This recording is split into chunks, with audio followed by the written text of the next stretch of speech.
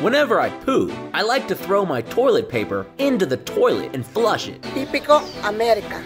Well, in Ecuador and many Latin American countries, the paper goes in the poo can. Wait, what? See, the sewage system sucks in South America. The pipes are too small and they get clogged if you flush paper. In other words, these are the sewage pipes in South America, Okay, wait.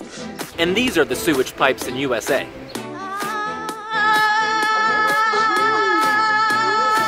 Big difference in pipes there. That's why restaurants all have signs like these. It's a mega pooper's worst nightmare. The problem is that most travelers from the USA who visit Latin America don't speak Spanish and can't read the signs. Típico América.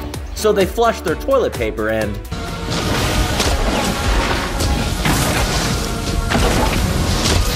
Most Americans who hear about this for the first time think it's pretty gross.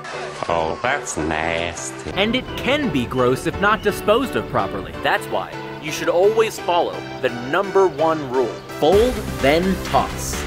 Keep your business a secret for the next person who looks into the trash can. Don't leave any open melted candy wrappers if you know what I'm saying. You also might want to take the trash out a few more times than you normally would in the USA. By the way, Latin Americans think you're the crazy one for throwing your toilet paper in the toilet.